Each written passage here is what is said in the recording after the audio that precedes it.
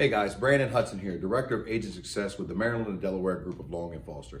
And behind me are just a few of the 2019 awards that we received. Among those, uh, we came out to be number one real estate agency on the Eastern Shore, number two real estate agency in the state of Maryland, and number 40 in the, in the nation of real estate agencies in 2019.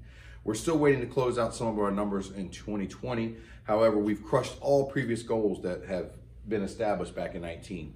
Now, these numbers may sound intimidating. However, when you do the, these numbers here, it's in a very supportive, family-like environment. We provide the opportunity of training, teaching, and mentorship. Right now, we're running a scholarship program where we will pay for your real estate agent's license upon completion. If you're interested in becoming a part of a team like this, then click the link below, see if you have what it takes to set up the kind of record numbers that we have. And again, you'll get this with a very supportive group and great mentorship. Click the link below.